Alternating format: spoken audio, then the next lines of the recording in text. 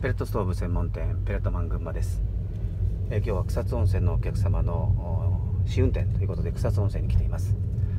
今岩手県の周りですね、えー、人の出はこんな感じです。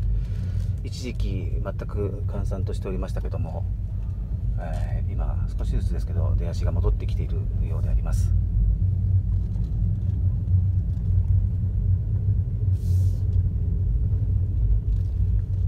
ペレットストーブのこと、薪ストーブのこと、メンテナンスのこと、申請設置のこと、何かございましたら、ベルク渋川店となり、ペレットマン群馬までお問い合わせください。よろしくお願いいたします。